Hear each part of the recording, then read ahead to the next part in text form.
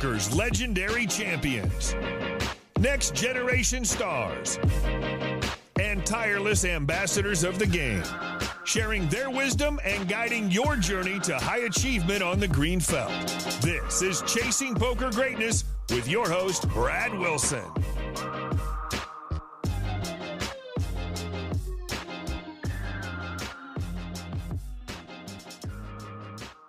Welcome, welcome, welcome, my friend, to the Chasing Poker Greatness podcast. As always, this is your host, the founder of ChasingPokerGreatness.com, Brad Wilson. And today's guest on the show is high stakes mixed game legend who basically needs no introduction, Eli Elezra. But just because the man doesn't need an introduction doesn't mean he isn't gonna get one anyway. Eli has led quite the life on and off the felt, and he's about to take you way back to the very beginning of his poker career. He's going to start with his time in the Israeli army and then travel through working in a cannery and driving a taxi in a small Alaskan town, where after terrorizing the citizens of said tiny Alaskan town at the poker tables, Eli decided to test his mettle and see what the card players in Vegas were all about.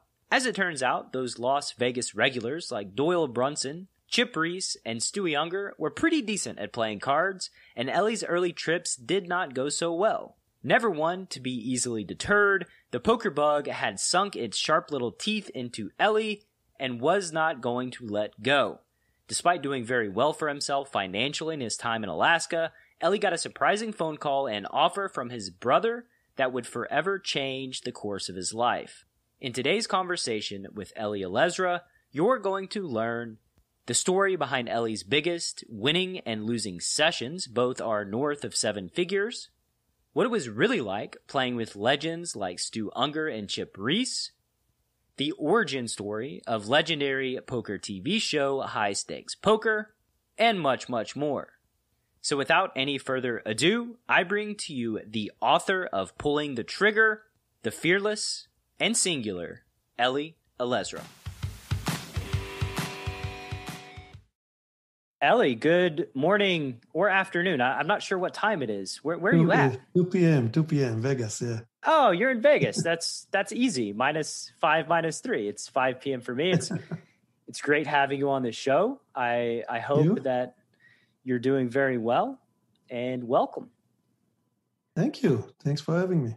It's my pleasure to start out the show, I always lead with the first question, and that's to tell me about your poker journey. We may not even make it to question number two because poker journey, I think, for you covers a quite a long period of time, and I'm sure there's some rich and great stories will drag out of you. So let's just start with how did you come across the game of poker? What year was that? And yeah, we'll start there.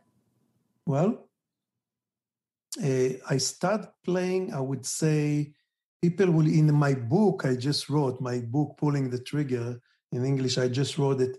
It was like high school bug. But in high school, I played just a little bit. And uh, I even lost, I was the guy that don't charge of the money. I lost the money there. Oh.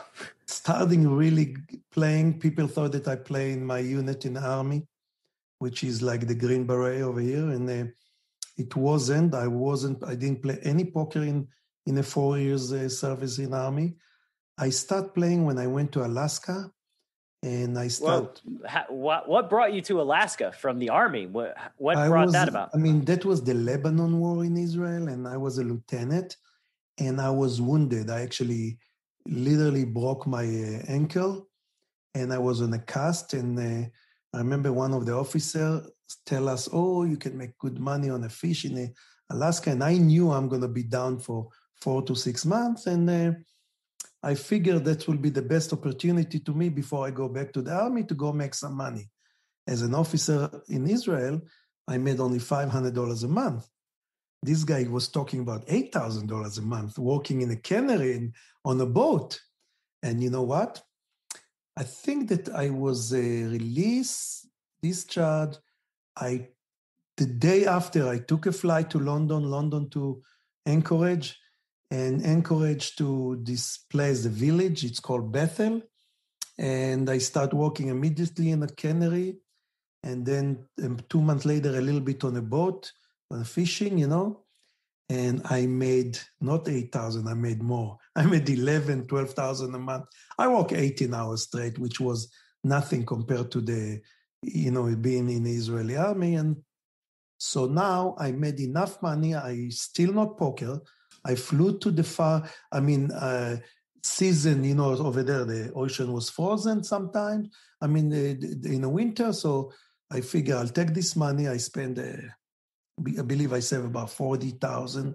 And then I took a trip in the Far East for about a year and with backpack and enjoy myself. And now I don't want to go back to Israel, broke, you know, again, only 10,000. so I go back to Alaska. And this time around, I figure if I make so much money, uh, you know, one, one of my teacher, uh, I was in English as a second language, language in one of the community college.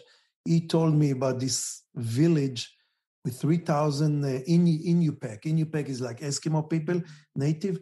And he said he knows a cab company owner, which uh, it didn't take long because he showed me some of the slides over there. And immediately I said, Would you please call him for me? He did. And the guy said, Oh, from Jerusalem. And he was born again Christian. So he, he, he, he invited me. I landed a week later in there and I start driving a taxi. And I would say three months into driving a taxi in a small, small town that I knew eh, within a couple of months, I knew everybody's names and everybody else number.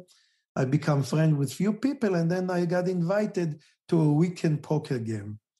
And that's when the very first time I ever knew what is the version of the one that you're playing, start, start the better, deuce to seven, all those games that I didn't know about. I knew about PLO, Omaha, of course, the hold'em, but I didn't know about some limit game. And they taught me those games. And uh, the first day with the other taxi driver and some business people, I play only 12 hours. Then uh, I came another day in the weekend, I play another 12. The weekend after that, we just stay throughout the weekend. And, and believe it or not, but I made more money. Driving a taxi, I made so much money. I made about $10,000 a month.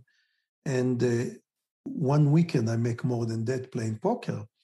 And how we call it in our uh, language, there was some fish out there, yes. Yeah, they, you, you, are a fisherman through and through. You went from fishing so fishing in Alaska to fishing fishing the taxi driver. Yep. So it was an amazing experience for me.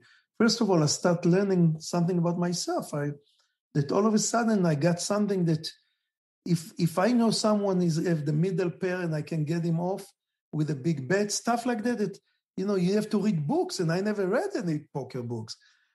And it took me, I think I was there about driving the taxi a year and a half, and I made so much money. And every, I would say, three, four months, I decided, okay, I'm good enough. I'll fly to Vegas. What so year was Alaska this? Alaska Airlines fly direct to Vegas what, to what Anchorage. Year, what so year is this, Eli? What's that? What what year is this? What year are we talking here? We're talking about 1980, 1984, 85, 86. Okay, so yeah, I don't I, I don't remember those. 87, yeah. I was one year old in 1984, so oh, okay. but yeah, so, so old time. I bought a ticket, cost me only seven hundred dollars. I remember round trip to Vegas. And I think, oh, here we go. I'm going to play poker. I'm so good. I arrive. I landed, go straight to Stardust start playing and don't worry. Those guys with the jogging suit and stuff they came and they cleaned me and i had to call to get some more money. I think i lost like 20000 on the first trip. Flew back to alaska with my head down make some money come back again. I say i'm going to get better. And every time they teach me the same lesson. You know those guys that i'm not good enough and i got a long way to go so after being in Alaska those years, I, I think I make about three or four trips to Vegas. None of them was profitable. And then um, my brother-in-law. Could I could I ask you a question yes. real quick? You're crushing in your village. You're making a lot of money playing against the cab drivers. You're make a lot of money fishing. Why were you so hell bent on going to Vegas and making it in Vegas? It started right there. The adrenaline in your body, you want to be the best. You want to beat the best in this game. And I mean, something about this game, people telling me, you know, during the years that I own my businesses, I made millions of dollars in the businesses. And then they said, why do you need it? Because we are sick poker players and we love it, you know. And some people will love to go shooting golf balls and love to do uh, the travel. And I just love poker. And I love to sit in a, in a game and have the chat with the poker players and you get to know so many players in this in our game and so many nice people. And uh, it's not like the you know in the old school uh, before i'm talking about before my 20s anybody that play card game in israel i mean it's a shame. My, your parents got upset at you and what are you talking about? You have to have a job you have to go you know? And uh, I realized slowly, slowly, actually after the moneymaker era, I realized a lot more. But uh, before that, when I, I was playing with Chip and Doyle, immediately I realized this game got so much future. I knew right there that. Uh, but anyway, going back to it, it's a good question. Why you trying to be them when you make money? Maybe one of the excitement and one of those things that you really want to prove that you probably can beat other people. And of course, it didn't work it didn't work. Some people don't admit it, but I admit when I'm beat. I know when I cannot, you know, beat other players and stuff. So, you know, this village that you call it, it's called Kotzebue. It's 30 miles above the Arctic Circle. You don't expect people from there to know too much about poker. So, I mean, that's why it was the easiest way for me to build my confidence. So, going back to five years, I mean, after three years, my, my partner, which is my brother-in-law, arrived to Alaska to work in this uh, taxi business. And when he arrived, he stayed only for two and a half years. And he said, I'm done with six month light, six month dark, frozen and stuff. And he came with my sister and the two kids, you know? To make the long story short, when he finished after two and a half years, he said, I'm going to Vegas. From Vegas, I'm going to Disneyland and back to Israel back to Jerusalem when we were born. When he arrived to Vegas, he didn't have a place to stay. He, he didn't know Vegas is so busy. So he was sitting there and he saw films developing 60 minute business. He go and approach the guy, and the guy was speaking, you know, he's a Jewish guy that speak a little bit Hebrew, but he's after conversation, the guy told him, I have the business for sale. He called me the next day. He said, Why don't you get all the money we got together? Come down. He didn't have to say it twice. For me, Vegas. So by then, we own also a little convenience store over there in Kotzebue. I um, I got it. I cut the next plane. I got here. I realized that there's opportunity over here. I said yes to him. We signed some paperwork. I go back to Alaska, got all the money together, sell what we have. And because of him, I actually start in Vegas. We start with a little apartment, we start with one store, and uh, five years later, we find ourselves uh, with about 25 stores, 25 locations for films develop. And then from films developing in 16 minutes, we become in 30 minutes. We bought so many labs, and then we become t-shirt places. And so I was so much in the business, and every weekend I went to play poker and play all weekend. And that's where I got introduced to the Binion Horseshoe. And I went to play over there. And of course, I saw some of the legend over there. Uh, that's where I was playing with Stu Ungar. And uh, did you know the, that they were legends back then? Was yes. that they, they I mean, were right there, Doyle Brunson, he was playing, but of course, I never approached them because I was playing with Scotty Nguyen, Scotty Baby, and with a few other players, the 153 and 100, 200, the, the two eight or better. Probably one of your favorite game or something. no, I'm I'm um, unfortunately I have spent too much of my time specializing in no limit hold'em and haven't ventured out into the mixed game world, which makes me very sad about my poker career.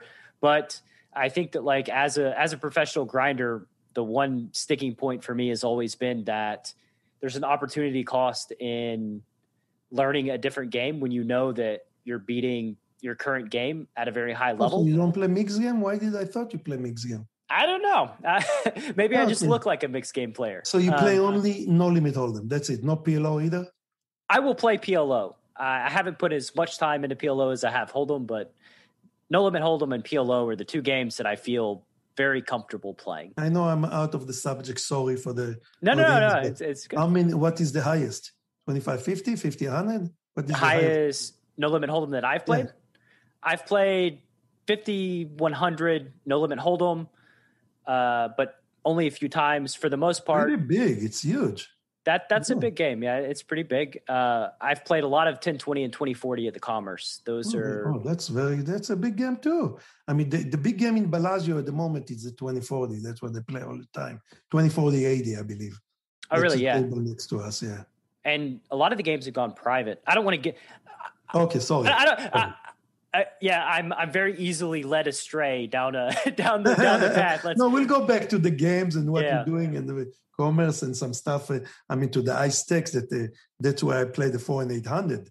No yeah. Limit. But anyway, so now we I'm uh, I'm back in. Uh, you know, in a finish everything, sold whatever, come to Vegas and playing the weekend, and slowly from the horseshoe day that I see those legend in other games, I start playing in Stardust, and from Stardust, uh, there that's where I start learning the Razz game, and uh, I see people playing Stud, and then they build the Mirage, and the Mirage I would say that's where I jump a little, uh, start playing a lot of 75 150 Stud the Mirage, and uh, from 75 150 I remember they start playing Howard Lederer, his sister Annie Duke, David Grey, uh, the guy named Jay he was the one that lost millions. He played with them 500 and 1,000 stud. And I did jump a few times into this game and I realized it's pretty much fun. And uh, you probably know it in your game when you have one guy that literally give it away. It doesn't matter what. It's like Larry Flynt, late Larry Flynt, sorry. I play in his game, two and 4,000, and I play four and 8,000 stud. And when you have one guy that is the cow and then you keep milking it, everybody's basically having fun and celebrating. Yeah, because everybody's everybody's winning just based on that one player's loss. It's it's very easy to have a massive loss rate playing poker. It's much harder to have a really good win rate. And when you get somebody that just is is giving it away, it's you're just waiting for your turn. And everybody's a favorite, right? Exactly. So that's why I start playing the five and nine thousand and our business is growing. I was working during the day and probably come three times a night only, three times a week. Were you and winning? I, I was a. Were you winning in these okay games? player. I wasn't losing yet. Okay. You know, I didn't do any major losses, but I start feeling, oh my God, I can literally make two, three thousand dollars a night sometimes.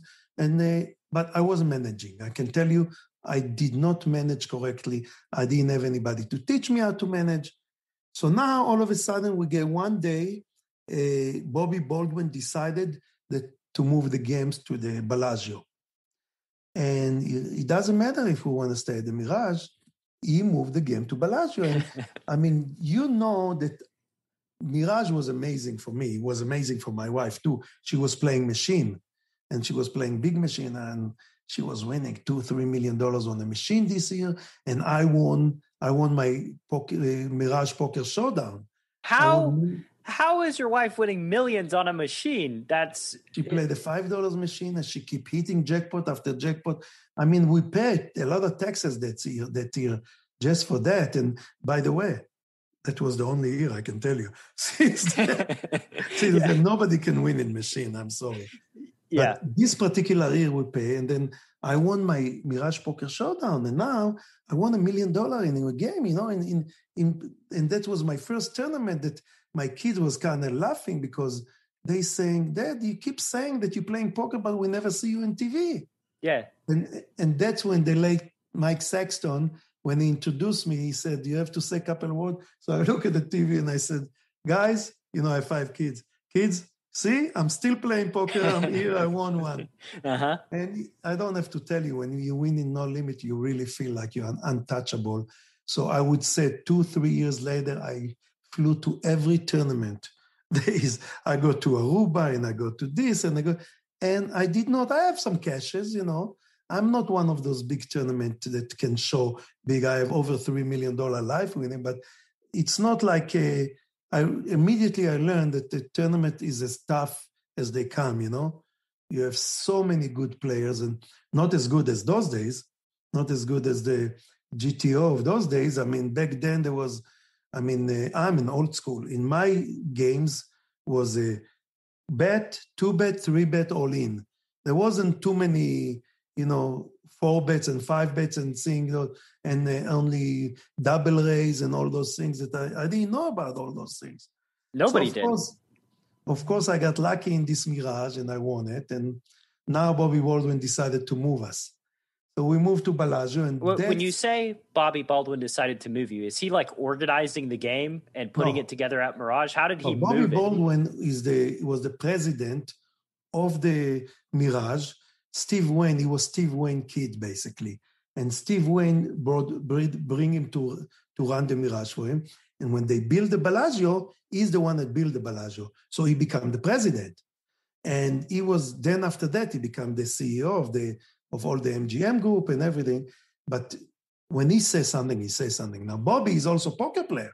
Mm-hmm. So yeah. I play with Bobby several times, but you know, they have the rule that the you know the executive cannot play in their own casino. So then we went and played in Sam's clubs a couple of times and stuff. But when Bobby's saying, we're going with it. So now that's when we arrived to Bellagio, they didn't have a Bobby's room yet. And if I have to put the year on it, it was 1990, 89 or 90. And uh, right there, when I start playing high, I think that's when the it's tip basically because I saw next to me they playing Chip and Doyle and the group playing one in 2000. Uh, and then I came in and the Chip introduced himself very nice as a beautiful businessman. And he knew that I'm a businessman and he knew that I'm sick and I love poker. It didn't take long that we become friend, poker friend, and and then I start playing every day, every day playing the mixed game with them, five days a week, six days a week. Less concentrate about tournament. Maybe back then I play a little bit to the the World Series at the Horseshoe, but those are uh, it wasn't as popular, you know. So I concentrate more on the cash game, and that's why I fell in love with the cash game. And I've done very well at the beginning. And when we raise the limit, I mean, when we play only three, four ended with Chip and Doyle, I've done really good. I, uh, I cashed so much money, and I and then when the game fill up, I start realize that's where my weakness is, because I'm I like to play a lot more hand, and again fill up, you have to be more selective, and I wasn't. And to make the long story short, when we start playing very high, four and eight thousand, I start seeing huge losses, and I never manage. And one of my biggest losses, I wrote in my book, was 1.35 million. I lost it in about 30 some hours. I never go sleep. My mind wasn't even clear. I was playing so many hands. And finally, after 30 some hours, my wife threatened me that if I'm not coming, she's going to come and make a scene. So I left the table and uh, tell me, was, what, yes. what's what's going through your mind? What are you feeling as you're getting buried more and more in this 4,000, 8,000 game over the course of 30 hours? Like, what does the internal dialogue sound like?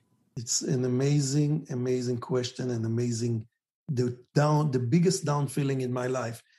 I when I drove home, I have to lower the window down and put some water on my face not to fall asleep. I'm only 15 minutes from my house and talk on my to, with my wife. But then when she hang up the phone, I look at the mirror and I look at myself and, and I really talking to myself, literally. I'm sure you find yourself talking to yourself after a big loss when you didn't know that after the second bullet, this is not your day. It doesn't matter what you do. And of course, I didn't know, and I keep pulling another 200, another 200, another 200. And uh, I, I, I said to myself, how stupid, what the biggest donkey. I mean, why did I need it? My parents work all their life. My father, he was post office, and my mom is a kindergarten day, day, daycare teacher. They never make this money all their life, and I have to lose it. And of course, my bankroll wasn't good enough for me to lose this kind of money. So, whose is? That's right. Steve Wynn, maybe, uh, maybe Guy. Uh, I mean, just Guy, Guy, yeah, definitely Guy. But uh, you know, I think that even you know us, the, the human being or the, the, the poker player that we call ourselves the animal of the poker player, you would think that oh, here we go, you learn your lesson. No, don't worry. Down the road, two, three months, four months, you forget about it. Then you get bury yourself. I bury myself. I think we flew to Tunica after that, and I lost in Tunica. We flew private for the first time. Me and Doyle and, and Jack Binion took us in cheap, and then I Jack Binion asked us come and play the. We have the main event over there, so ten thousand dollars main event, and it was What the whole shoot in Tunica. Yeah. So now I flew. We arrived. It was like 10:30. He said, "Let's go play." Lyle, for some reason, we said we play two and four thousand. Lyle Ba- Berman decided to keep it, kick it up to four and eight. Don't worry. Eight hours later, I was stuck 550 or 600, and it was like two or three a.m. And the next morning, you're supposed to play a tournament, and everybody quit me. So now I go upstairs. I have a, I have a couple of glasses of wine with my wife, and I said, I don't think. And then they wake me up the next day. I said, fuck this tournament. I'm not playing no tournament. I, I need to win first prize to be able to to break even, and uh, that's what I'm saying. Uh, we don't remember. We don't have the the the the, the sense of you put yourself on the fire one time, you hurt yourself. Don't do it again. You know, just use the common sense. And of course, I've done it many times, and that's where also when I also made mistakes and borrow money and did some a lot of mistakes in my life, which I admit. And and I mean, right now, I mean, to people that want to know, uh, I'm playing very cheap, three and 600, four and 800, two and 400. The most you can win and lose per night is between 20 to 40,000. And uh, it's not a lot. Some Sometimes people even take a pieces of me and I'm doing okay now, you know. And uh, for the people that listen, and I was crying until now, I have a big win. One of my biggest win is 1.86 million in eight hours. I play with Johnny Ward, Sammy Farha, Ted Forrest, Jennifer, and Chau. I think that when I left home after those eight hours, I was thinking that no one can play better poker than Elliot yeah, you, you are the No one. king. Yeah, I mean, this is, I'm the best poker player in the world, and my box was full, and that was during the time that the banker was in town. So not only the money, we were full boxes because the banker, we also, I also won one of my biggest wins. So Talking about up Andy, and down for poker player is amazing. you, you're talking about Andy Beal from Yes. uh, from Texas, Beal Bank that was immortalized in Michael Craig's The Professor Banker Suicide King, which is one of my all time favorite poker books. Amazing like book. Yeah. I this is a little I'm I'm a little sheepish saying this on on my show, but I don't necessarily love poker strategy books. Um, I, I'm not drawn to them. What I'm drawn to are the stories. Like that book, just one of my favorites. Doyle wrote a book forever ago. I don't even know what the name of it was, but it was like a bunch of short stories about people playing cash games, and like that was one of my favorite books of all time. Um, I loved Amarillo Slim's book. Um, that you know, I, I think all the stuff that happened with him, it, it doesn't get talked about. But like Amarillo Slim in a world full of fat people, that was a book that I, I love the stories about, you know, that scene back in the '80s. I mean, that to me, that's uh, those people are like the larger than life heroes that I look up to just as a poker player. You know what I mean? I'll tell you what, I'll add up the two, my two cents on the books. So I never wrote, a, I never read a poker book, okay?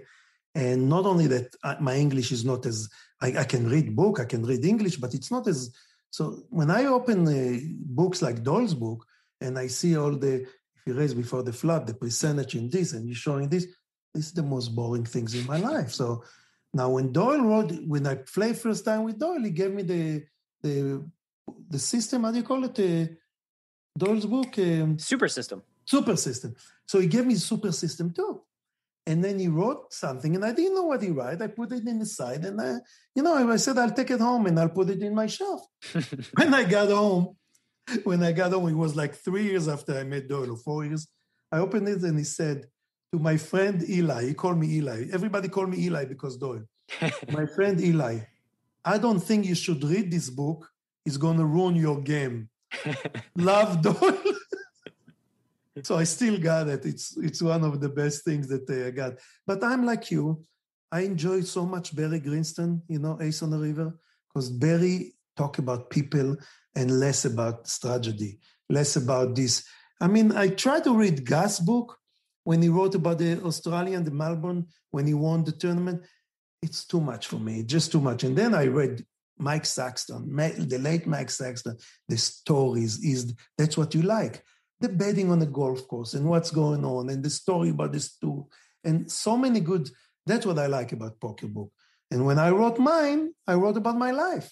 Born in Jerusalem, grew up, being in the army, almost get killed, going to Alaska. From Alaska, I, I, a little bit about poker, you know, and um, and uh, mostly about the players over there, you know. Yeah. What I did on high stakes poker and all this. So, okay, we kind of got out for, no, it's. I don't even know where, where we were. I don't know where we were either, but I would say one thing that came to mind when you were talking about playing shorthanded, um, talking about putting pressure on people with middle pair, and also not reading Super System and not really being attracted to like the poker strategy books of the day. And it's a thing that I've thought a lot about as it relates to poker skill sets. And, you know, aggressive players, players that put pressure on people, the one thing that they do that makes everything else almost insignificant is the ability to read human emotion and understand when what somebody's threshold of pain is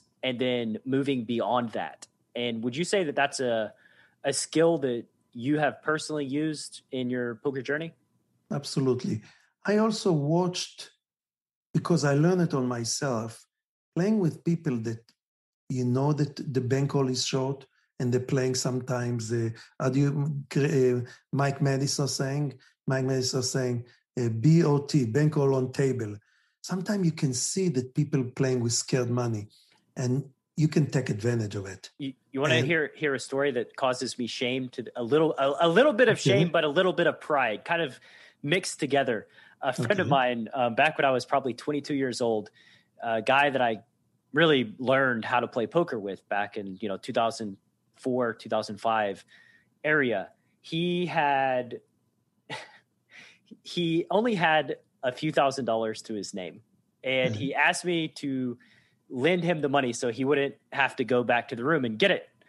In which case I said, okay. And 30 minutes later, him and I are playing, and it's a table full of a bunch of fish, and him and I play a pot. And like, I just, I remember knowing that it's his case money and shipping the money in and just like in my head, I know he's not going to call. Like he he doesn't want to oh be oh involved God. with me, and like he just he t- tanked forever. I mean, he has maybe some of the highest level of poker talent that I've ever experienced in another human. He's tanking like it's almost like he knows what I'm doing and yet he can't pull the trigger.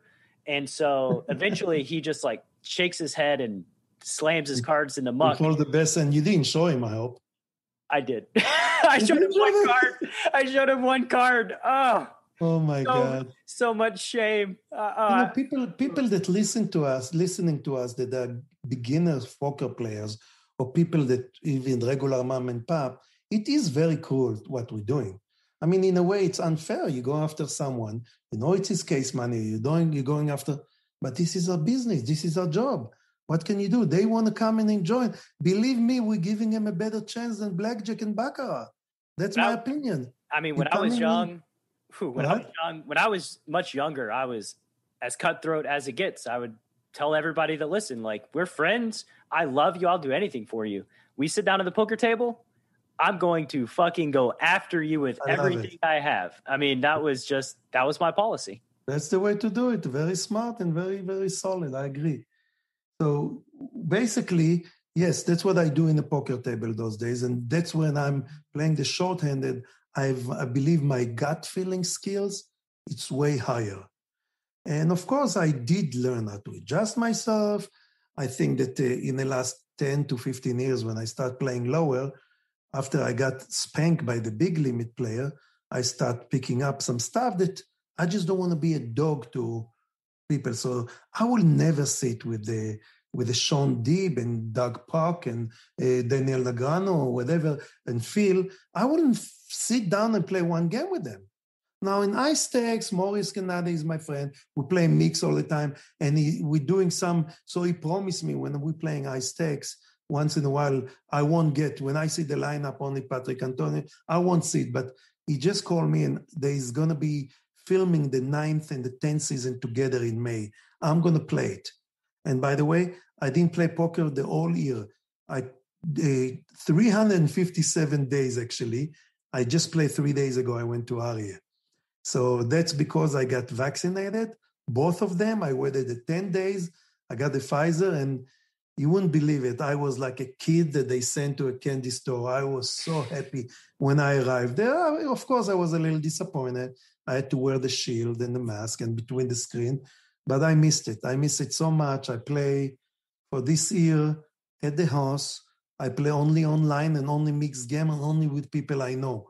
We have this king side that you have to play with your own name. And that's and I did okay. I did okay, but with all the respect, comfortable being playing with your pajama and playing online. And I don't know how you like it. I like to look at the face of people when I play.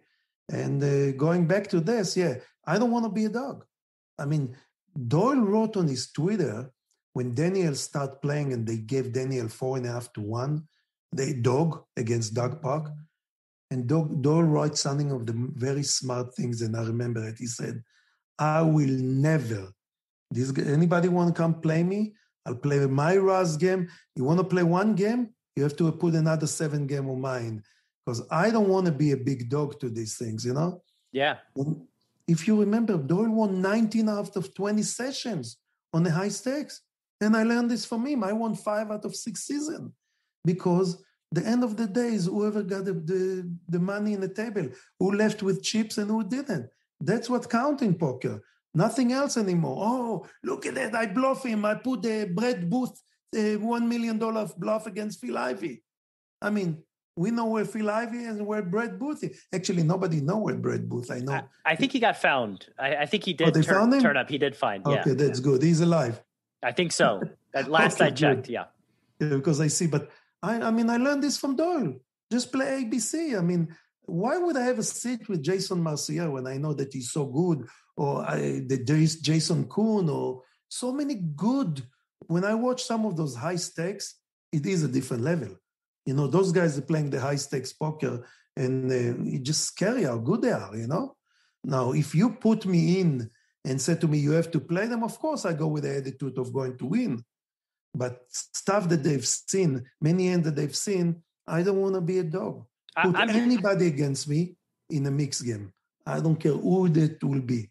From the Phil Ivey to this, I'll play anyone, but and, and I know I got as much chance to win as much as chance that they are, but no limit stuff or I I I'm going to do some speculating here that the listener do not take this to the bank because I don't know the situation behind the scenes, but the Doug Polk Negreanu thing was very odd to me. It was a very weird thing that happened. I didn't understand why it happened because, like you said, Daniel Daniel really didn't have much of a chance. I mean, he's taking he's playing a specialist at the specialist's own game who has been playing heads up no limit at the highest of levels for like a decade. And so, what was curious to me, my speculation is that somehow or another, like GG Poker helped behind the scenes um, as it relates to like selling action for that challenge. That's the only thing that makes sense to me because Daniel's not a, a stupid person, right? Like Daniel not knows,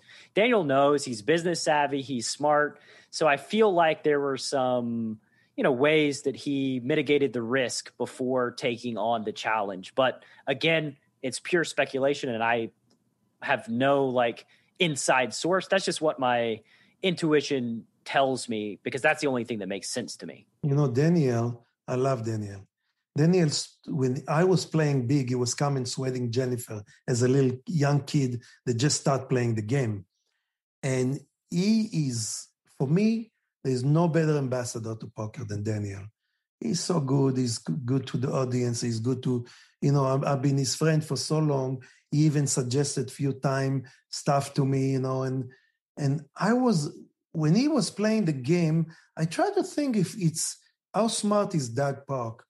Doug keep poking him, poking him. As you know, and you remember the exchange on Twitter, and it was very dirty about the, the, the his wife, Daniel's wife, and stuff. And I didn't like it. I didn't. There's you know, there's Doug Polk can do a lot of things people don't like, but over here he was he did something that really got him the, the, the million dollar, the million two. Yeah. And some other people bet side bets and stuff like that. And so you might be right. You might be right that Daniel is not that stupid. And I know few people take piece of Daniel. You know why?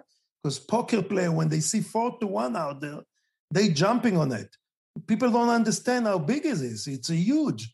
And both of you playing, but you know, I I played the NBC heads up few times. I came only I think I played five times and I only twice make it to the third or whatever fourth level. And it's completely different game. Completely. When you have to play the Jack Five offsuit, I don't care what people said. You have to adjust your brain to play bad hands. Yeah, I, and, I I did commentating for it, and I'm just like I'm I I'm not a heads up specialist. This game is just foreign to me. Everybody's got way too many hands. Like I, I don't know how this is supposed to look. Uh, because it's not my area of expertise. And, you know, no matter how smart you are and naturally talented, which, you know, poker's a meritocracy and Daniel has built his legacy on his skills at poker, it's really hard to switch to somebody's specialty over a short period of time and and battle them. It's it by really hard, I think it's just impossible. Daniel is such an amazing player when he read people I mean, before we jump to Daniel Reed and High Stakes, I tell you the, the, the, the match coming up now. I think seven minutes after Daniel tweet to Phil Hellmuth, I hear you talking shit about me. Why don't you come and sit down? I wrote on my Twitter, that will be a match for the ages. You know, you guys should do. And immediately, I mean, Brent Brent Hanks and this called me and said, "You want? We want to interview. We want to ask you." I said, "Listen, both of them my friend and both of them good players. And both of them old school. As much as phil is more old school than daniel i mean uh, i don't want to predict but you know no one can put phil doyle said it in one of the best ever. Every world series that we play doyle advertise outside if anyone want to put his money against phil even money against phil hellmuth and any hold'em event shop is open and people used to come and bet 25,000 and 50,000 and they just named the event. Don't worry, Doyle made all the money. So, I mean, we know Phil Hellmuth doing something amazing. Yeah, I, I am I'm, I'm not immune. I, have taken Phil's been on the show. He's a great guy, very generous. If if I send him an email, he replies like instantly. Like I don't know. Oh, that's he, nice. He's he's he's a really good, generous, genuine guy. And you know, I've made a couple cracks about Phil Hellmuth and the blowups and like um, all that stuff. But at the end of the day, I, I, had a conversation with Phil Galfond. He was on the show, and I, I said something, and basically it was when somebody when you don't understand what a high level player is doing, and yet you know that they've had great results over time, and they're not just clicking buttons. That there's a method behind whatever thing they're doing that doesn't look right or doesn't feel right. Like it, it's just because you don't know what's going on, and that's an area that you should probably investigate and learn more about because something ha- something is happening that you're not aware of it happening. And Hellmuth is like the perfect example of this. And Galfond tweeted out a little while later, and I'm not going to say that he stole my line, but I'm going to say that I'm going to say that he stole my line. He he said that like Phil Hellmuth like ha- is successful all the time. Everybody makes fun of him, but maybe it's just that Phil knows things that other people don't really understand, and maybe instead of making fun of him, we should investigate what he's doing right. Oh, so I remember we, that. I remember what he tweeted. Yeah, yeah, it was very nice compliment for Phil. It was, it was, and I, I'm 100 percent in agreement that we we should think about when we see somebody do something we don't understand, and they're a high level thinking player let's investigate why because they have a reason. They're not just doing it to do it. Over and over and over the years, and the man's still there. So you want to tell me that I like his uh, poker addict? No, I don't. I don't like the some of the stuff that he does. But for people like me, old school professional, maybe like you too, when he see professional in front of him, he will try to put to put the cry baby thing, but he knows it doesn't work. It's worked very much on amateur he can drive amateur to the ground, and I've seen him doing it, and he's professional. And no one in this poker world is better self-marketing himself than Phil. No, he I mean, played Phil Hellmuth played the poker boom better than anybody else on the planet. Better than anybody. Um, I agree. I agree. So that will be interesting match right there. Think about it. That'll yeah, be a very interesting match. I, I think it will. Um, and I, I, I am oddly excited to see what develops in that heads up matchup. But he's two to one. They saying Phil is two to one dog. So wow. I mean, I don't put money on stuff like that. I usually don't try to bet or whatever. But interesting. I mean, going back to Daniel, the sixth season I play with him in high stakes poker. I mean, everyone keep telling me, people from Israel and people, why is this guy Daniel? He knows what you have. He call your hand and he still call you. And we saw it so many times. At least I would say ten times with me. He said, "I know you got that." When I raise him big on the river, and he still called me. So that's why Gabe Kaplan is laughing on this this couple of times. I mean, Daniel lost so much money on the, on these games, and he still was one of the best poker player out there. Reading the situation, knowing what's going on, understand the suited connected, like Tom Dwan and uh, you know some young people do, and this is uh, just uh, the high stakes. Yeah. What's the old expression that you not only know you you not only have to know how to play well, you act you also have to play well like that. So you you have to execute. It doesn't matter how much you know if you can't execute the strategy in the moment when it matters. It doesn't really mean very much absolutely, Absolutely correct. I've been, as I said, I play with Daniel so many times, and I, I just like, love him as a human being. And when I was down, he, he, he offered his help, you know, because we old school people, everybody think that we are untouchable. Everybody have his down per moment everyone that been high stakes poker been broke several times. When I talk cash broke that you can't even ante up, you know. Now going back to this uh, high stakes, I mean high stakes poker is what made me or what made me famous or whatever. I mean, I'll tell your audience like that. It started like that. We're playing in Bellagio. Maury is coming and approaching Chip and Doyle and say, guys, I want to film this movie. And Chip looked at him and said, What are you talking about? He said, Not only that I want to film this movie, uh, this game, I want to film this game, and I'm going to pay you guys $1,200 an hour for playing in it. Okay. And, Do- and Doyle asking, And we can do whatever we want over here? He said, Absolutely. I think two months later, we were at the Golden Nugget playing our first match. And I've, uh, you probably remember, first and second season, we played the props and yeah. the props, it's so addicted. And I play with Doyle and them and stuff, and Phil Ivey and and we realized, and Maury realized that one mistake he made, he said, you can do whatever you want. because when we sit down and Doyle got king seven in the hole, and the flop came jack queen three with the same suit, and Doyle said, I see it, you owe me 8,000. So everybody, I mean, the regular mom and pop don't understand what the heck is going on and they, they didn't understand. Doyle won twenty thousand because it was his diamond suit, and yeah, I think that uh, Maury convinced us after the in the middle of the second season to forget about the paper and forget about the prop and play poker. You know. Yeah. Even though I remember during full tilt days, Isildur, no Isildur, um, uh, uh, what is name? The Phil Ivey and um, name the PLO player, very famous, the Swedish. Uh, he play he, he play fifty thousand dollars black or red against Phil Ivey.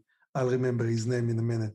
But those are the prop that it's easy to explain. But the Gabe Kaplan couldn't explain our own props, and it was confusing. Yeah, but um, that's the problem. Is like you, they need to be a little bit confusing. Oh, so Ziigmund. Ziigmund, Ziigmund uh, yeah, yeah, Ilari Sahamies. yeah, yeah. Um, yeah, the props need to be confusing so that there's the potential for somebody to sleep one, so that you have you can have an edge, right? Like, so they need right. to be a little bit complex. Doyle was sleeping a lot, and we're waiting usually after the turn card is asleep. So the moment he sleep, we start laughing at him because he's talking about tens of thousands of dollars if he sleep. Yeah. So this ice takes what it did to me not only that he put me on the map and people all of a sudden knew who was Eli I remember flying and being in Greece in the airport, in Italy, and this people come to approach and they try to get picture of me. And I said, come on, guys, I'm not a superstar. I'm only a card player, you know? But that was amazing though, during this time, what money maker make to to the era of being a poker player that everybody want to play poker. And I still call it sport. For me, it's a sport because everyone can play it. A lot of people can win it. And if you really study it a little bit and learning, you know, not all of all of them like me and you that cannot read Sklansky book, you know, people that can, can read David Sklansky book with all his, uh, you know, what you have to do with this and percentage, then they can probably pick up some good stuff from there, you know, and I, learn about the no limit game. Yeah, I mean, for sure. And I, I want to go back a little bit because we're, okay. yeah, we we've we're in the Negreanu Polk, but okay. Remember what's interesting to me these stories, right? Like I, I want to ask you, like back in the day, you know, you mentioned playing with Johnny World, Chip Reese, Doyle, obviously Daniel, all of these killers. Um, who would you say that if they're on their A game, they're just the most terrifying player that you've played against? Okay, the, definitely Chip. Chip, I mean, you remember the famous sentence from Chip. Everyone, everyone can play his A game when he's winning and he's up. You know, you know that a poker player. When we're winning, we feel good and we play good and we throw a. Yeah. But the trick is to play your A game when you're down. And that's and Chip was on his A game when he was on tilt, when he was this. It was so for me, it was one of the best. And not only that, let me tell you, because everybody says Stu Ungar. Play with Stu Ungar 10 times. The man have a con- completely control on the table. He did whatever he want. I played with him the year that he won. That the final table was in a, in, a, in Fremont Street over there outside, and I remember playing with him for I would think eight hours. He just took control on the table. You know, when you raise every hand, he raised every hand, or I would say eight out of ten hands, and he knew when to fold. And all of a sudden, when you come on top of him, he have it, or they let him see the flop and they try to trap him and he trap you. Just complete control and amazing, amazing. I was intimidated when I watch him. And then, of course, Chip did not play a lot of No Limit with me, so I don't. But then Phil Ivey jumped in. Phil Ivey, the very first time Phil Ivey played with us, it was Bobby's room, young kids coming. And I remember when he quit and he left, Chip turned to me, whispered in my ear, and said, This guy gonna be one of the best in the world. I said, How the fuck you know? He said, Because I know. And you know what?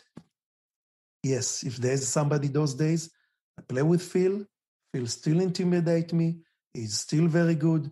I mean, if you ask me, oh yeah, can you feel compared to Doug Polk of today or to this? I don't know. I know about the Phil that play until eight years ago, whatever, six years ago, when he, he was really on top of his game. Now mostly he's playing in Macau and stuff, but he's definitely out there, but over there on the top for me. Uh, you mostly want to know about the no limit. And I don't know, I can ask you, what did you see on the no limit when you watch the high stakes and you compare it to these days? I mean, you probably watch every high stakes. They I did. It, very easy, right? Easy games at the beginning. The games looked really good in the beginning. There were some guys, you know, I'm I'm partial to some people because of the influence that they had on me. And you know, the Galfonds. I, I, was Brian Townsend when he played on high stakes poker. I remember was, I played with him too. Yeah, that was like a different level. I, I like it felt like he was just on his game and was just a massive, massive favorite with the his level of confidence and his ability. And when I think back to high stakes poker, uh, that's a name I, I don't even know if SB Rugby plays poker anymore. But I just remember watching him and thinking, "Fuck, that dude is good. Like that, that dude is a killer. I think I remember. I remember when Phil Galfond sent, and I will remember when he said, and Doyle turned to me to my ear and said, "Do you know this guy?" I said, "No," and we di- we didn't even know the guy. We didn't know where they came from. Oh, definitely natural. I mean, you can see people that study. I mean, Phil Galfond knew what he's doing. I remember Phil Galfond folded to me. I think I have kings and I flap kings full, and I try to trap him, and I even bet checked twice and bet small on the river, and he folded the full house. You know, he folded something that it was ridiculous.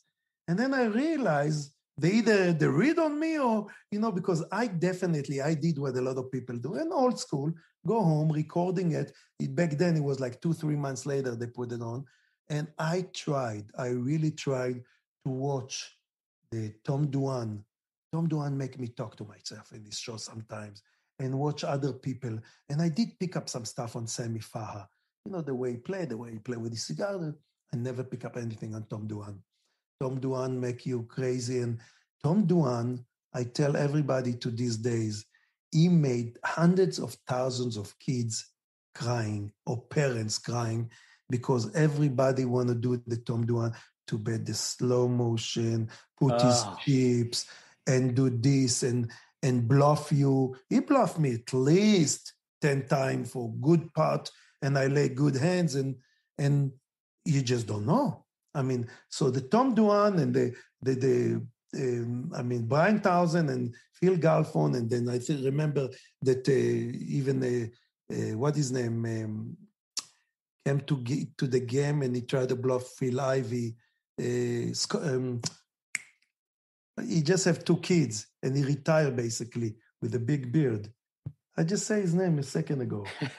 I can't think Miami, of From, from Philadelphia. From Philadelphia.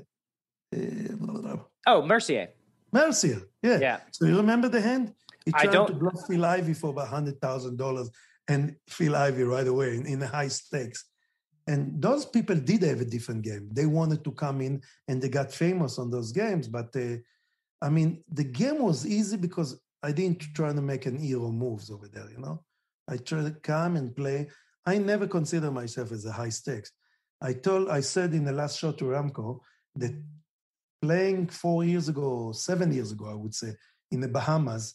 I play. I went to play the the Poker Stars uh, International. PCA, yeah. PCA, and then uh, I didn't have a lot of money, so I wanted to play the twenty five thousand. So I went to Deeb, and I said to Sean, "You want to take a piece of me?"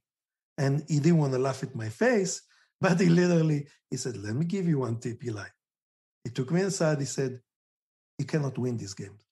The 25,000 is a super high level and it's all young kids and they know. I mean, and only back then I got introduced to the GTO, that the game that I that stuff that, and you know what? In a way, it's like insult, but I think that it sink to me. Because since then, you know how many people ask me, how come you don't play the million dollar? Or how come you, first of all, I don't have the money. But then, even I have the money, why would I play in a game that I feel I'm a dog? It's like I would ask you, you know, would you go to the, tomorrow to play in a game that I put the five big pro that playing every day in Bellagio? And, you know, I don't, maybe you said yeah because I like the no, challenge. Yeah, I, I would not say yes. I mean, that just seems like suicide to me. Exactly. And I see night in and night out. And you know what I do once in a while? You it's funny, but I can see when somebody's coming with somebody very special. So they come in starting locking seats. So I come and put my chip and I lock a seat. And then within 10 minutes, somebody walk in that they're always waiting, you know, they've, a, you know, they're grueling down and they, and yes, the guy that coming usually lose 100, 200,000. So I'm trying to take my chances once in a while on those games. But even then, you know, when you know you're playing with six pro and only one fish, it's not as good, you know. I don't think I can I can stand in your game, in your 24 day. I need to do a really big switch in my head to try to come and play no limit only those days. Yeah, it the doesn't make sense. Like, different. I, I think like it, it doesn't make sense for you to even try to do that just because like you have a skill in playing the mixed games that is extremely, extremely valuable and that I've noticed just over the years, like I, have told this story about people in the commerce. What they would do was they have a big whale that we're playing against, and then all of a sudden they pull them to the side, and then they're playing like a three game mix with the whale with like deuce to seven and some other hmm. games, yeah. and the specialists are kind of just like longingly looking at them playing shorthanded with the whale, and it's like okay, like that's a very good move by whoever did that. And you know, when you can play these mixed games, that there's just a lot less information available out there on how to play them very, very well. That just means that there's a natural massive edge and Hold'em for as fun and complex and intricate and as much as I love Hold'em, there is a ton of information on how to play very well at a high level. And so the more information that gets out there, it's just the natural edge just kind of diminishes over time. And you play a game, it's like Doyle, right? Like Do- you could invent a game. Doyle's going to play it at a high level because he understands poker and he understands the things that are going on. Um, and, and that's just a skill that is worth its weight in gold in this world. I mean, uh, you know, several interviews that I have with NBC and this, and I said, I'm going to die in a poker table. And, you know, it's one of the sentences that you just, what you just mentioned, I just love it. When you have it now, and when I'm doing good with it at the moment, you know, my mixed game I'm doing good with. And I'm not, I would tell you that by now I'm managing myself really good because when I see that that's it, I cannot win that day, you know, sometimes, or when I lose one or two bullets that I give myself, I'm getting up. It took several years, it took many years for me to learn and a lot of hits, but uh, finally, that's all what I do now, you know. That's all what I do. I play only poker and I'm happy with it. And and matter of fact, while talking to you, I see Crazy Mike just text me, game at 6 p.m. today. and that will be my third time playing since the pandemic, you know, so I'm so happy. Yeah, c- congratulations. Look, I totally get it. You feel like being a lone wolf in your poker journey has hamstrung your ability to realize your full potential. So, I'm about to give you a golden opportunity to plug into a supportive tribe that will be the poker family you've always wished you had. How much money would you give for one hour of interactive group coaching led by myself, Coach Thomas, and occasionally past guests of the Chasing Poker Greatness podcast? For now, and this will absolutely change at some point in the near future. The price of admission to the live Poker Power Hour is 100% free. All you've got to do to get your invite is head to chasingpokergreatness.com and hop on the VIP newsletter. No more excuses, no more procrastination. It's time to take action and put yourself in position to turn your poker dreams into reality. I hope to see that beautiful face of yours in just a couple of days.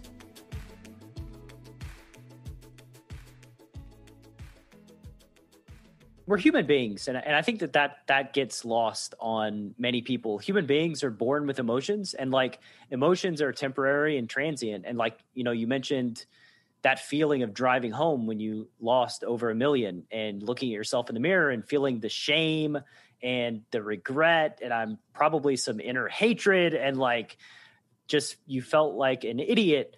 On the flip side of that what you said when you won like 1.8 million you were the king. You were the king of the world. right. untouchable bulletproof and like that's just the human experience. Are these in poker it's extreme highs where you're a genius and extreme lows where you don't even know if you can spell the word poker anymore. And somehow or another as time passes you just kind of forget how it feels to be super low. Um, you listen to listener also have to understand that I was fortunate enough because I own businesses. Mm-hmm. So when I got a big loss like that, I didn't have any money left. And if I borrow, I had to return. So I had to sit home. One time I sat home for six months. Six months I couldn't play and I couldn't ante up because I didn't have money and I need to build myself to just to catch up, you know? And talking about a guy like you, a poker player, or a guy like, let's say, Chau or Jennifer Harman, or when that's all what you do. Now, those, I mean, Jennifer Harman got got some stocks investment and stuff, so she cannot go. But some people that all what they do is poker, and tomorrow they go broke, and they don't have a parents to go ahead and uh, let them. They have to start from the beginning. And people, the listener have to understand, beginning is micro stock. You have to start playing dollar, two dollars. And over there, you, you don't have power. Your money is not power because you cannot bluff. If you buy for $200 and the tourist sit in front of you and he see on TV that ace king is a good hand, it doesn't matter. He'll push everything and uh, then he put his sunglasses on, you know, try to look like on TV. And, and it's very, very tough to start from the beginning and to build, build yourself up to go to play the 5, 10, 10, 20 or 20, 40. I can see the levels in Bellagio, can see the small one that you buy-in is 100 to 200 dollars then the 5 and 10 the 500 buy-in and then i can see when i look at the faces i can see some people that and you can you probably can agree on that. You have a handful you don't have many people that make living from poker. No. And the one that you know the top pro that make a living for poker they definitely know what they're doing and they definitely been around and uh, because there's a lot of poker player that thought that they're good but they gone as they come in. Like like we see on the tournament. Look at the tournaments you see one name and then he disappeared you don't see him again. I mean we see the michael mizrahi and the daniel and those a lot of names that been there for so long and you know they are good. You know that chino is so good. You know that you know so many good names that i'm telling you. I mean, for my opinion, one of the best one, as much as I have, you know, some history with Shaun Deeb. You know, I love Shaun Deeb, but he's he's one of the natural player today. He's so good. He's so good in the mixed game. He's so good in no limit, and we're gonna see a lot of him. You know, a lot of him. Yeah, it's it, it takes a special kind of person to have a long career in the poker space, and you know, you mentioned people disappearing. I mean, just in my career that started in 2004 i guess so 17 years i've been playing poker professionally well, you are the moneymaker boy yeah yeah of course All right. I, I, was a moneymaker boy believe it or not I, I watched rounders before moneymaker um, and my friend who I I bluffed and talked about a little earlier, uh, uh-huh. he was playing poker back on Paradise Poker, like in the late '90s. So I did have some level of interaction with poker. Like I knew that it was out there. And then uh, my friend actually wanted, or he got like 28th in a tournament at Foxwoods and drove through where I was living and working as a, a waiter. And he showed me like his little printout of like he won twenty four hundred dollars, and I was like, "Holy shit, you won twenty four hundred dollars! Like that's amazing!" And he was telling me about playing poker, and that was sort of that was when the bug no, bit, wait, bit you me. were underage because now I put in my hand real quick. Yeah, I, I was nineteen. Seven. You play eighteen. He was eighteen when you played in two thousand four, or nineteen. You were. I was nineteen. I was 19 when I first started. I, I moved out. Where, you, where, can you play when you're 19? You can go to cruises to nowhere down at off Cape Cape Canaveral in Florida um, to oh, the okay, okay, yeah, international that... waters. yeah, um, but yeah, I mean, what when, your parents thought about it when you started? Um, I would say it was my, straight from college or what, or you drop? No, I, I, I did not like school. I I never liked I never liked going to school. I was bored. I just couldn't stand it, and so I I took a year off. The the year off, um, which has now lasted almost twenty years. It's a very long year, and found poker. And I, I I don't really know what my parents thought. To be honest, I can't. I know my grandparents had a lot of reservations because poker wasn't. I mean, even today, poker is stigmatized but back then it was even more stigmatized. And I, I, I don't know. I, am very, whenever I get my mind set on something, that's what I'm going to do. And so really it didn't matter what anybody said. Like that was my path. But, um, after Black Friday, I, I'll never forget. I went to Commerce. I was sitting there playing the 1020 game, and a bunch of young kids after online poker disappeared. And sitting there battling, we start talking, and about online poker, like revealing our screen names to each other. And um, I realized that, like four of the guys I was playing against were regulars that I battled against online like all the time. And after that trip, I never saw any of them again. Like that was the last time that I saw any of those online guys playing live poker. I don't know what happened to them. I don't I guess they they never played live poker before because I started playing on the cruises to nowhere, so I I had experience playing face to face, and I love playing face to face. You mean the the very first uh, card uh, player poker cruise, or what was it? Yeah, when I first started playing poker on the cruise, this the like, one that Gus won. No, no, no, no. This is. uh Oh, okay. I thought you're talking about card player cruises. No, no, no. This was like a daily. They just go go out to international oh, waters. You gamble four wow. hours. They come back um, that that sort of deal. But yeah, those guys they disappeared. I, I, don't know what happened to them, but lots of people I think disappeared after Black Friday. I mean, it takes a special kind of person to not to not go broke over an extended period of time in mm-hmm. this game. Yeah, that's very tough at the beginning. Uh, and now I guess you're doing it on a regular basis. You're playing, huh? Oh man, Eli, what a what a loaded question for me. Um, I've I started the podcast. I'm starting my business. I'm coaching. I'm creating stuff. I'm learning how to sell, be a copywriter, make sales pages. Uh, my community is almost 300 people, and mm. honestly, I, I want to play more. Except, like an off day for me is seven or eight hours of doing just various things. So. Wow I haven't gotten and I haven't gotten a chance to play. Um, and I think that my hope is that after building my business and getting things streamlined, I'll be able to kind of take a step back and be less involved. But this first few years, man, is just a lot of work, a lot of work. Well, let me see. Uh, you only 18, 22, 20. You only 32 now, 33? Oh, no, 37 if my math. 37. My math. So when you get to 60, yeah. You'll have enough time to cash all your. yeah, I'll, be able to play and just have fun playing. that's Enjoy that's the yourself. dream, Eli, is to own my own business and you know go broke and still have money, still have a, a plan. You know, I can talk to Mori, put you on a high stakes uh, cash game coming up. Yeah, well, that would that would most likely lead me to going broke. I don't think so lose a couple buy-ins. Put you in one of those Jeff Platt. Put in. I saw some lines up and stuff. I think you can make money. I'll be happy to take fifty percent of you in one of those. It's only I think ten thousand buy-in or twenty, and it, the lineup is amazing. And all what you have to do is do what you do. Play ABC poker and enjoy yourself. And I think you can make money, even though me and you know that it doesn't matter how good you're playing. If one hand go, not going correctly, if you have aces, you can go broke. But this is our game. I I would very I would take you up on that in an instant. Um, that well, that, did you uh, interview Mori yet? No, I haven't. Okay, then I, I can. When we finish, I'll send you Mori's phone number. You text him, tell him that you want him on a chasing uh, greatness, and uh, and I think that he'll be a very good. Tell him Eli said he should come and. Uh, he called me Eli also. he should come. He should come and uh, be on your show because he have also the best stories. He is the poker history. He's a good poker ambassador.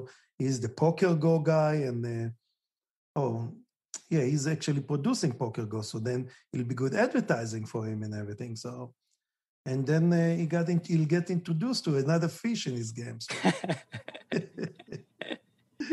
oh man, yeah, we'll we'll talk about that um, after after we close up shop okay in, in just a few minutes and you know if you don't mind let's let's hit the lightning round and we can sure. we can hit it and then you can start preparing to go play some mixed games for uh-huh. the third time in the past year yeah. um let's see here so when you think of pots that you've won in your poker career what's the first pot that comes to mind I play a pot with there are several of them in high stakes poker, but a, a pod that haven't been recorded was me, Lyle, and Gus. Play a pot with them that uh, I uh, I have the nine ten heart to these days my favorite hand, and uh, Lyle have the two nines, and Gus have the nut heart, and we playing. It was 1,000, 2,000, and usually the raise was to seven thousand and I think I won 700 and some thousand in this particular hand. All three of us, make the hand. I mean, the flop was the 7 8, you know, 7 8 a heart. And the, no, the, sorry, Lyle, Lyle, uh, Lyle have the two eights, yeah. So he flopped the top set, 3 7 8. The turn came a jack a heart, so that's why I make my straight flush, and Gus make his nut flush. And back then, we on, the cap was only 200,000. So he was bet, I just call, Gus raise, and Erie raise, and did, all what they have to do is I have to put my money. yeah. They were drawing dead. and Just don't have a heart attack. A, yeah, that's a memorable and definitely. I have few of them that uh, uh, the famous one that I flop four aces everybody else will check, and I didn't check. I bet into the pot, and Sammy Farha moved me all in. He didn't have much money but me and Sammy Farha had some history, and uh, I mean, you know, playing. I'm not like Doyle. Doyle literally remember hand that I played with him 20 years ago. 20, 15 years, he said, Oh, you remember that you have the quad and I have this? I said, How the heck you remember those? He said, That's something in my system that I cannot take. He remembered those things. I tell people that a lot of those hands that I don't remember because is uh, I'm playing stud and I love stud. My next bracelet I'm gonna win is gonna be in stud again. I want two in stud, one stud eight or better, and one in in deuce to seven triple draw. Next one gonna be because I love stud and I think my age on other player in stud, I never miss bets. And I so I remember people said, Why you don't remember? Because I need to remember what came out on the table. if you play with me stud, I can tell you 10 and later what came, what is the cards that was exposed. Jack a club, deuce a diamond, whatever. So I remember that, and it's very important to this game, to my game. And then also at the same time, I play the player mostly, you know, in stud. And uh, people think poker player love stud. Old school poker poker player all love stud because it's a one winner. It's not a split game, you know. And you definitely have some talent in there, you know, some yeah. skills. So, I mean, made other major hands that I remember. Probably I was in the bottom on the on the losing end of. Yeah, that, that's the follow up question. Is the the most memorable pot that that you've lost? I think if I oh man, I, this is like the yeah, lamest, la, la, lamest joke that I was going to make, but in Super System, you know, you talked about Doyle and he, I was going to say, if I remember correctly, he calls it recall, like that ability of high level poker players to just recall a specific hand and really remember the granular details to the point um, of each hands. And for the first five years of my career, that was how I operated. Um, and then at some point, I, I don't know, it just they started going out of my mind. I just started letting them go.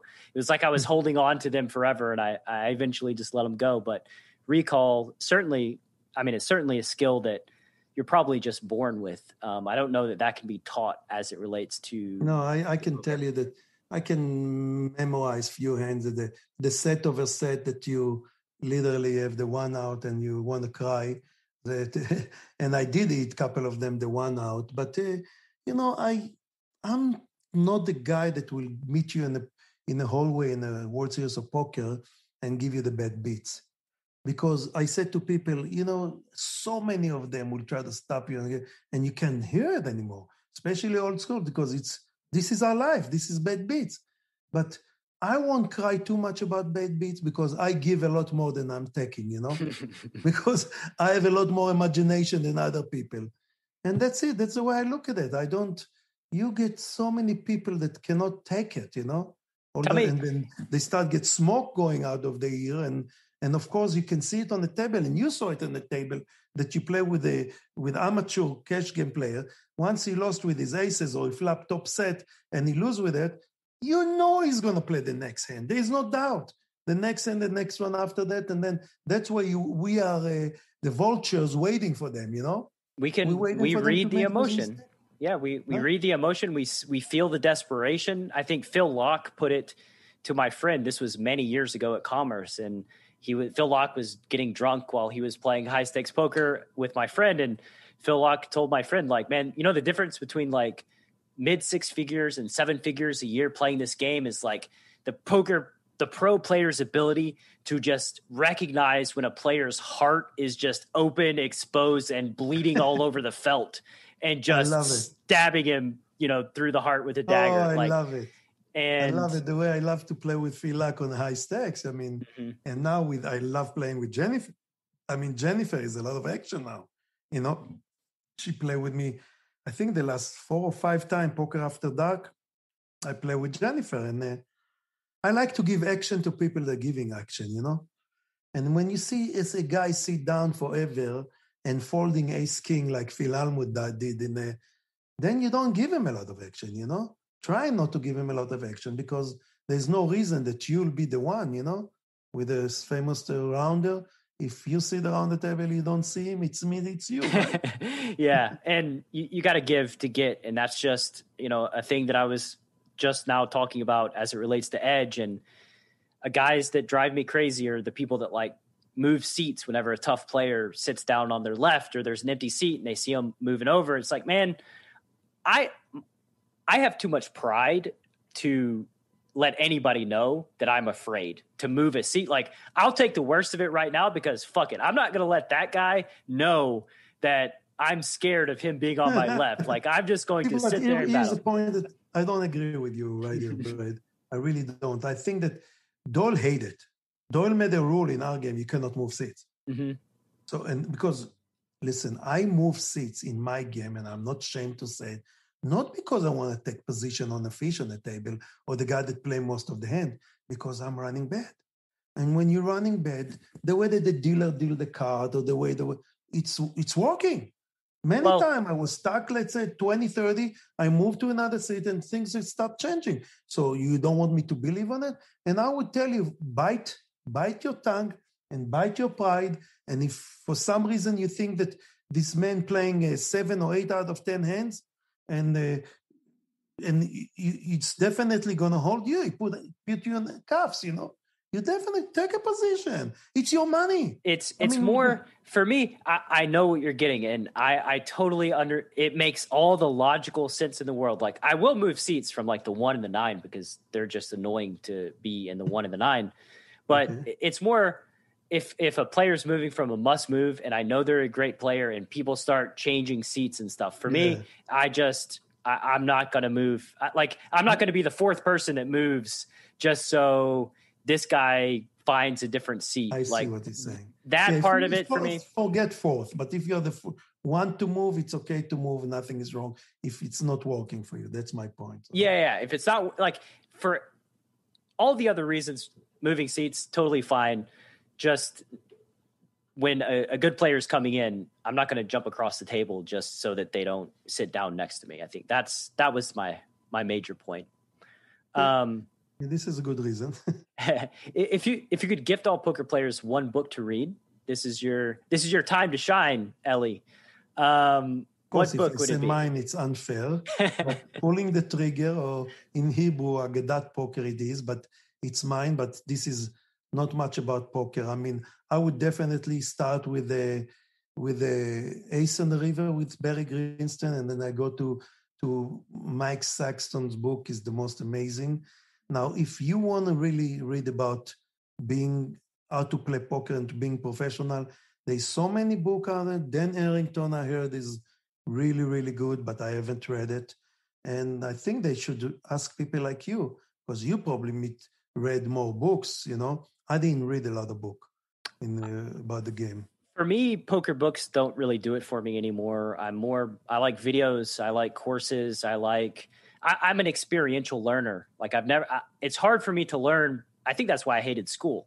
I want to do like I want to experience something. You can explain a game to me and it doesn't make sense, but as soon as I see people playing it and I'm like touching and feeling, then it just all kind of clicks in my head. So I love stories. Um, but books are not my preferred method of. But then, learning. then I mean, you the videos. Go ahead and watch the best players in the world playing. I mean, make notes even what they're playing. Look at the mistake they're making and try to remember that.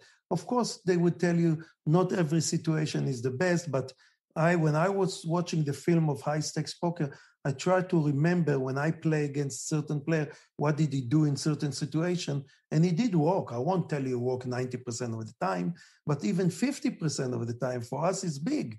You know, when they, I did my shot now and they told me it's 95, I said, how many times you see me out of 20 time going all in? For me, I'm so happy now that, that I'm 95% uh, safer, but I've been watching myself really good during this time, so it doesn't matter. So yeah, watch a lot of film. Watch a lot of those good players, and don't watch the heads up. Heads up matches between Antonio and Phil Hellmuth or Doug Polk and Danny. It's not poker. I'm sorry, but it's not poker. Sooner or later, when you make the heads, make a heads up to win a bracelet, yes, you need to know and you need to know how many heads. But watch the full games. And when you watch full game, especially the one we're playing, the cash game and not tournament, because in cash game you can reach and buy again. In tournament you cannot. So watch those and try to remember and try to. I mean, people like uh, Chino, people like uh, Michael Mizrahi, people don't understand. Uh, they they thinking that those guys have the you know the high blood and they playing with the most. Those guys are so good, you know. Chino's and, a paradox of a human being that I don't even know how to describe. I've only played against him a couple of times, and the few times I've played with him, he's been like playing PLO and like potting it in the dark every hand with like not a care in the world. I, I he's sort of a paradox of like just gambler, um, just total gambler, and then also amazing, amazing skill of playing poker. Like it's it's a weird. I don't even know how to quantify Chino. Well, I tell you what, in 2008 9, I was finally full tilt came to the air. And, you know, I was one of Full Tilt Pro and I got good money from them and everything. And I remember talking to Howard to put the mix game and he put the horse.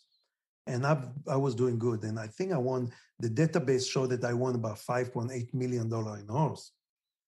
And again, I feel so good, you know, because people, I play with Tom Dwan horse and he cannot beat me, you know. So, and then I decided to my stupid reason, I play Ziigmund, I play Tom Dwan, and I play Isildur, and I play some of those guys PLO. And don't worry, I thought, oh, PLO is so simple. You have to aces, aces, double suited. And I didn't understand. I finally get the hand and I three bet them and they four bet me and I five bet them. And I didn't understand that the 10 jack queen king double suited or the six, seven, eight, nine. I didn't understand that I'm even money or, I mean, or if I have bad aces, they are favorite.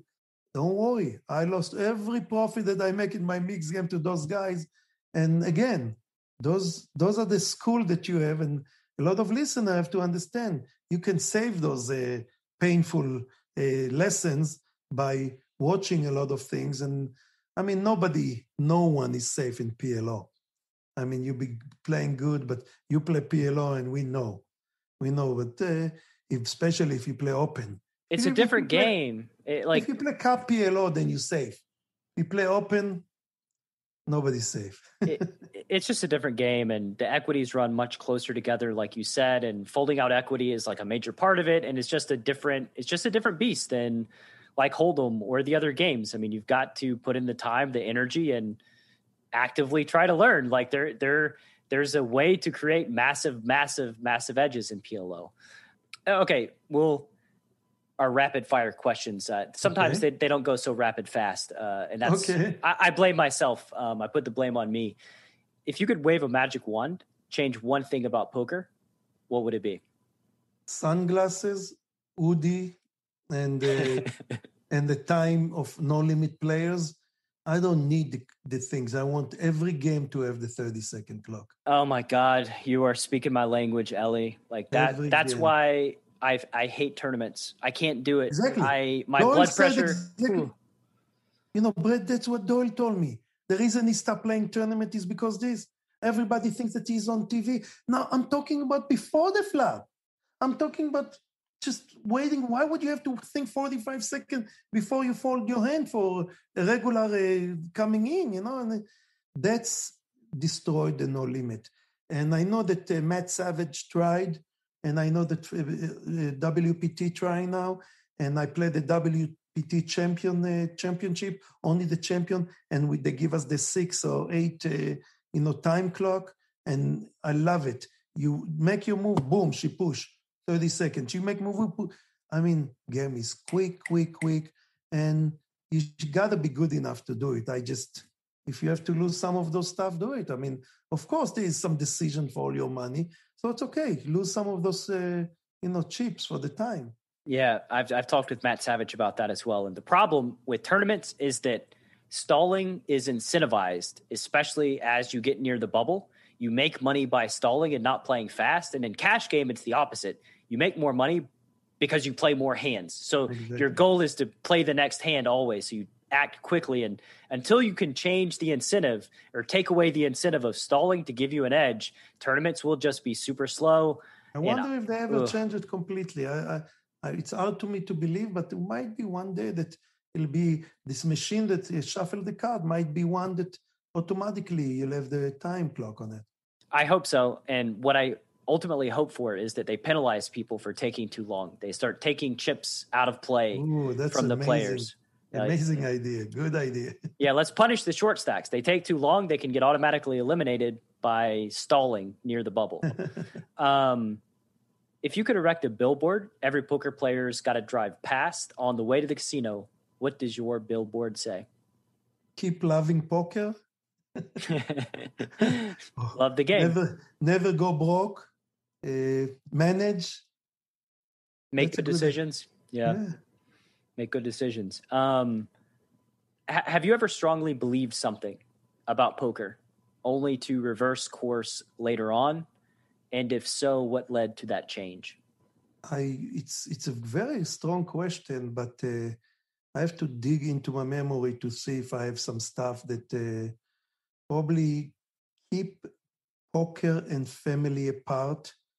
Because uh, when I start playing, you know, with kids at the house, I used to bring my emotion, and people used to see it on me. If I have a bad day or I got knocked out of the tournament, I was very edgy. So I came in and I uh, I blew up when I wasn't supposed to. If it's about the wife or the kid, and yes, I would definitely be able. Those days I will change it. They don't know. The last 20, 15, 20 years, nobody knows, and I don't tell nobody. No, my wife. No. How did you do in poker? They can't tell. I mean, I have this poker face, and that's it. You know what I'm saying?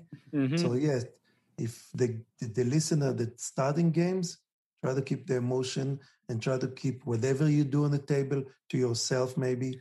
So it's very hard, but it's a it's something that will help you to manage to go keep going and love poker. You know. it's a weird thing that happens when people sweat me. Like if I'm by myself, I am almost never steaming. I I'm just like calm, cool, collected, just grinding and playing.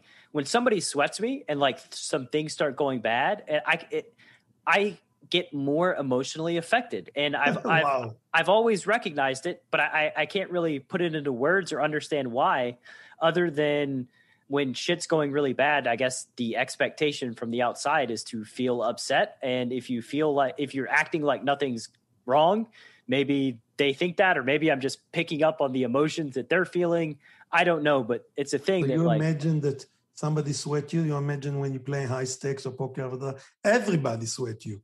yeah. So if you make you make the wrong move or you don't bet when you're supposed to, and you know that your opponent will get out, everybody watching. Oh, so that's this is- that's totally different. Like I, I've I play poker on stream. I make training videos, and everybody sees exactly what I'm doing. It's Yeah. different than when it's like a close friend. That's why I don't know why when they're just like over your shoulder in the moment. it's a it's a different kind of.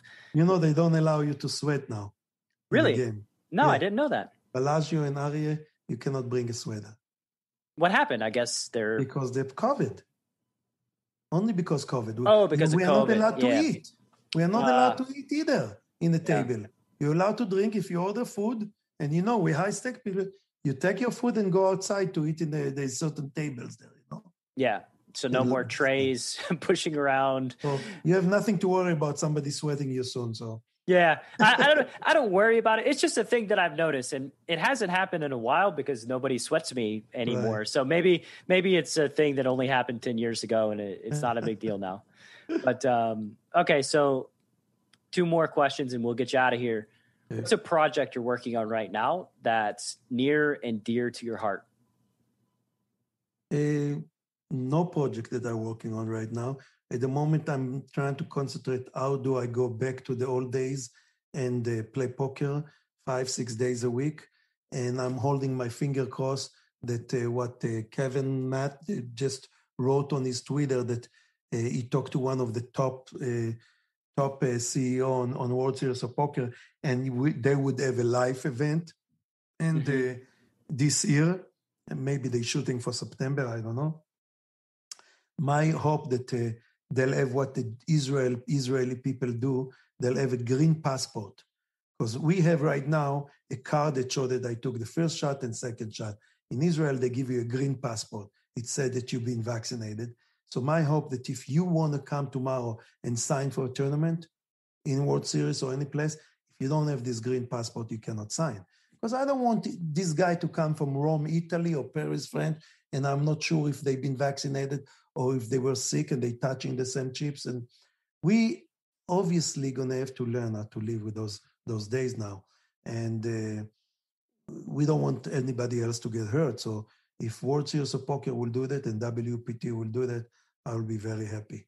That yeah. That, uh, Me too. And Vegas, I mean, it's a destination. People come in from everywhere, bringing from the airports and God only knows what, right? Like it's right. all it takes is one person and a group of people to affect many, many lives. And I hope, I hope you're right. I hope they do play it safe and be smart. And there's a lot of incentive and a lot of money to be made by playing it smart. So right. hopefully they just get it done. And the final question, Eli, yes, where can the Chasing Poker Greatness audience find more about you and read your book on the World Wide Web? Well, uh, Amazon got my book against pulling the trigger. People ask why pulling the trigger because the Matan Krakow, they wrote it. He decided to to make it.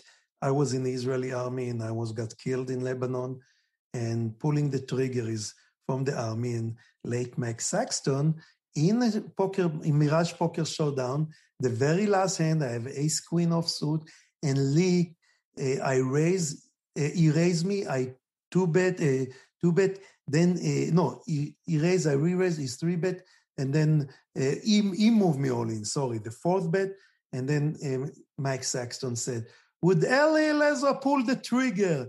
Would he pull the trigger? Would he call because he have million? He he moved million and a half with four five spade." And I was it Lee Markholt? I, I, can't even remember. Yes. It was Lee Markholt. Yeah, yes. I, I, don't and, remember. And I won my first million dollar tournament, so that's why we call it. So yeah, if they want to hear about it, it's definitely there. This is the book that I wrote about everything in my life, and uh, uh, everyone that ever come to Bellagio, to Bobby's room or Ivey's room in Aria, I'll be very happy to take picture and to sign my book or to do whatever they need. Awesome, Eli. Thank thank you very much for your time, your stories. I'm very very grateful, and um, best of luck going back to the world of poker, and hopefully things coming back to normal over the next six yes, six to twelve months. you having me. Thank you, my friend. Thank you. Good day.